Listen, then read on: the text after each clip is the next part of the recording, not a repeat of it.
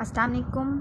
तो आज हम लोग जो है, क्लास सेवन्थ का लेक्चर वन स्टार्ट करते हैं। हमारे पास फ़र्स्ट यूनिट है ऑपरेशन ऑन सेट्स। तो चलें, देखते हैं हम लोग इसकी एक्सरसाइज वन। तो आप सब भी अपनी नोटबुक्स और बुक्स हैं, वो साथ में खोल लें और मेरे साथ ही जो है, वो क्वेश्चन को सॉल्व करें। हमारे पास है question number one, fill in the blanks. तो आप लोग देखें, यहाँ पे हमारे पास फ़र्स्ट पे है, if A is equals to A T E. आगे लिखा हुआ है, number of elements in A is equal to dash, ठीक है?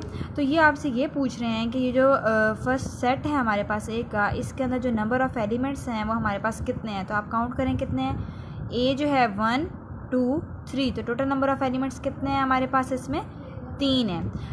If B equals to letter in the word banana number of elements in B तो अब आप देखें कि इसके अंदर लेटर्स कितने हैं? लेटर से मुराद ये नहीं है कि आप लोग जो है यहाँ पर काउंटिंग करें कि टोटल कितने के one two three four five six इस तरह नहीं।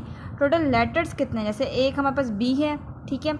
नेक्स्ट ए है। लेकिन आप देखें ए जो है वो आगे रिपीट हो रहा है। इसी तरीके से ये जो एन है, वो भी आगे क्या हो रहा है हमारे पास इसमें रिपीट हो रहा है। तो टोटल कितने लेटर्स हैं इसके अंदर? तीन है हमारे पास। और वो कौन कौन से हैं? बी ए और एन तो ये कितने हैं टोटल हमारे पास? तीन। नेक्स्ट हमारे पास है if C is equals to X such that X is counting number less than ten तो हमारे पास जो है, कौन सा ऐसा नंबर है जो टेन से स्मॉलर है जो यहाँ पर आएगा? तो हमारे पास टेन से स्मॉलर नंबर कौन सा है? Nine if D is equals to X such that X is a letter in the word sleeves अब ये हमारे पास same fill in the blanks number two की तरह है। अब इसमें हमने बताना है कितने लेटर्स हैं। तो एक एस है आगे वो भी रिपीट हो रहा है तो ये एक हो गया। एक एल है हमारे पास, वो नेक्स्ट रिपीट नहीं हो रहा, ये दो लेटर्स हो गए। इसके अलावा हमारे पास ई e है, ये तीन और वी को मिला के टोटल कितने लेटर्स हमारे पास इसमें यूज़ हुए हैं?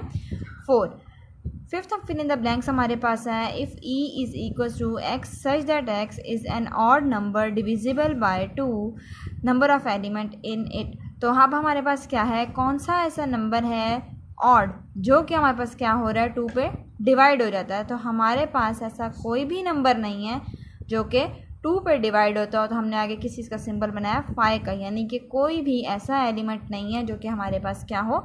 टू के टेबल पर जो है वो डिवाइड होता हो। अब नेक्स्ट जो है वो हमारे पास है question number two, state whether the following are true और फॉल्स। हमारे पास कुछ स्टेटमेंट्स हमने ये बताना है कि ये ट्रू हैं या फिर क्या है? हमारे पास फॉल्स हैं।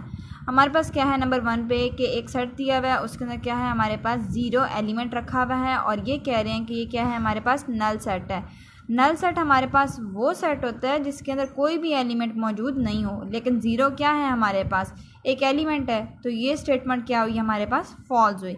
Equivalent sets contain the same number of elements अब इक्विलेंट सेट्स हमारे पास ये होते हैं कि जो हमारे पास दो किस्म के सेट दिए हुए हों और उन दोनों के अंदर जो एलिमेंट्स हैं वो हमारे पास क्या होते हैं? सेम होते हैं। तो ये स्टेटमेंट क्या हो गई? हमारे पास ट्रू हो गई। The cardinality of the sets of positive integers is infinity अब हमारे पास क्या है? कार्डिनलिटी बेसिकली जो हमारे पास नंबर्स होते हैं, हम उनको बोलते हैं। ठीक है?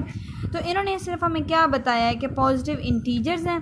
अब पॉजिटिव इंटीजर्स में जो है, हम लोगों को ये नहीं बताया कि कहाँ तक जो है पॉजिटिव इंटीजर्स में हमने जाना है। अब पॉजिटिव इंटीजर्स जो हैं, वो तो हमारे पास ज़ीरो वन टू थ्री से आगे स्टार्ट हो जाते हैं सारे, ठीक है?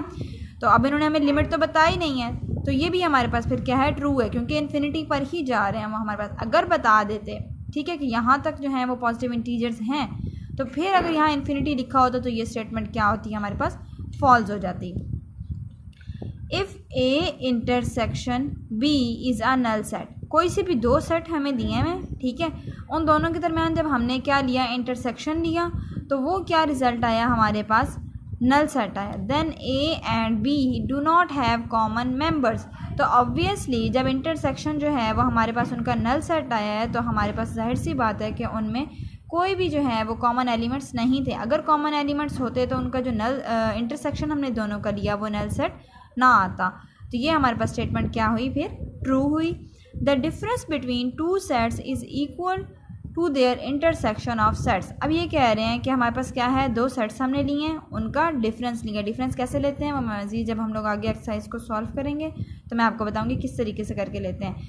Of two sets is equal to their intersection तो वो जो है, क्या है? उन दोनों के इंटरसेक्शन के जो है, वो इक्वल आता है। तो ये भी हमारे पास क्या है? फॉल्स है।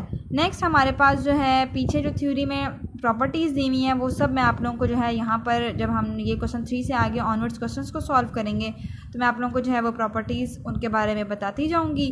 तो हम लोग अभी आगे जो है इसके क्वेश्चन नंबर थ्री को देखते हैं। इसमें इसको हम लोगों ने जो है वो किस तरीके से फाइंड आउट करना है। चलें, अब हम लोग जो है वो नेक्स्ट क्वेश्चन नंबर थ्री को देखते हैं। इसमें हमारे पास वो क्या कह रहे हैं कि ए जो है वो हमारे पास है टू फोर सिक्स एट और जो बी सेट है वो हमारे पास है one three five and seven और इसमें वो हमें क्या कह रहे हैं कि हम लोग फाइंड करें ए यूनियन बी तो सबसे पहले तो हमें ये पता होना चाहिए कि यूनियन जो है वो हमारे पास कहलाता क्या है, उसकी डेफिनेशन क्या है। यूनियन हमारे पास ये होता है कि जब भी हम लोगों को सेट्स दिए जाएँ, ठीक है, चाहे एक हो दो हों या जितने भी सेट्स हों हमने क्या करना है कि उनको एक सीक्वेंस में लिखना है, ठीक है? सीक्वेंस में लिखने का क्या मतलब है कि जैसे अब इसमें हमारे पास सेट्स जो है वो रैंडम कुछ पड़े हुए हैं, ठीक है? टू फोर सिक्स एट और जो बी है उसमें भी हमारे पास पड़े हुए हैं वन थ्री फाइव सेवन तो हमने क्या करना है, इनको एक तरतीब से लिखना है।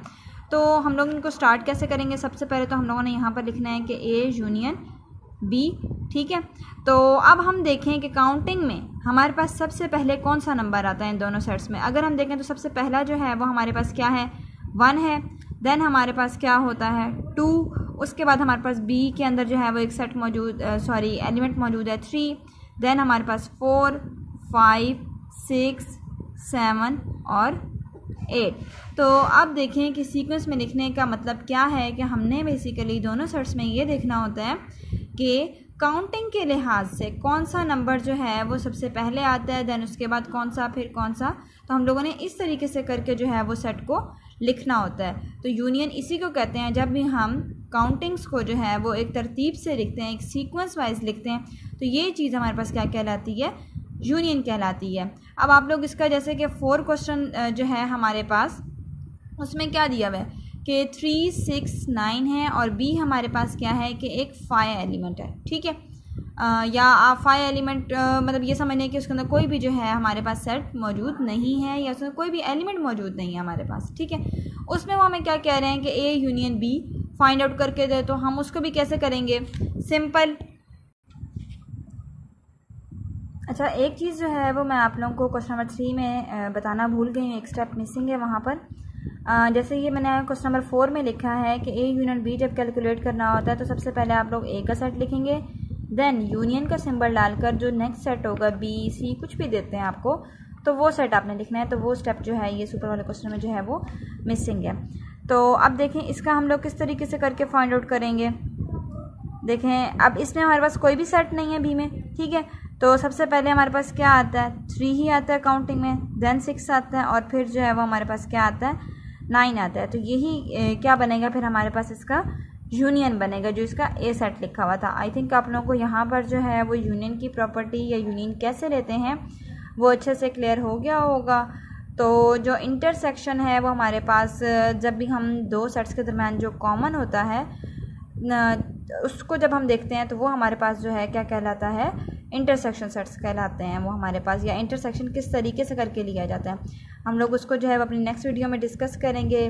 मज़ीद मेरी और वीडियोज़ को देखने के लिए जो है मेरे चैनल को लाइक कीजिएगा सब्सक्राइब कीजिएगा और आगे शेयर कर दें। Thank you Allah half